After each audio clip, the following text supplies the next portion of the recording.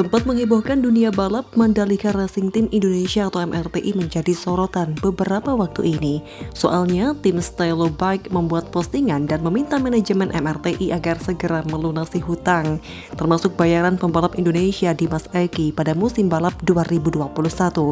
Tidak ada respon dari tim Mandalika Racing Team Indonesia. Bagaimana dengan Dimas, pembalap Indonesia dengan Indonesia sponsor Pertamina Mandalika? Tulis Stylo Bike.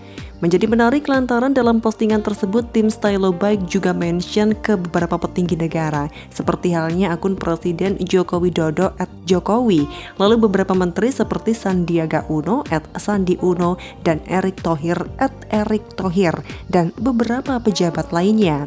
Alhamdulillah hari ini at Mandalika Racing Team telah menghubungi sekaligus memberikan hak saya di tahun 2021 lalu. Terangnya, selain menyampaikan kabar gembira tersebut, Dimas Eki Pratama juga menyebutkan para petinggi.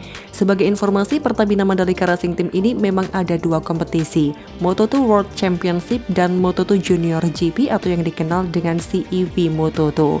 Pada kancah balap dunia, MRTI bekerja sama dengan SAG Team Sedangkan di CEV Moto2 bekerja sama juga dengan Stylo Team yang sudah terbiasa bekerja dengan tim dari Asia.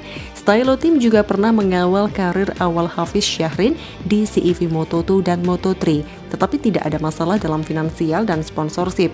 Namun untuk kasus di tim Stylo Bike ini, dari informasi yang dihimpun beberapa bulan terakhir, pihak MRTI disinyalir tidak melunaskan kewajibannya di musim 2021.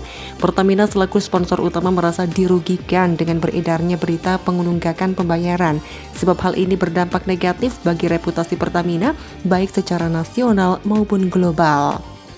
Dapat kami sampaikan bahwa Pertamina memenuhi kewajiban sebagai sponsor sesuai dengan kesepakatan dalam kontrak kerjasama, tulis Corporate Secretary Barahmantia S. Purwadi.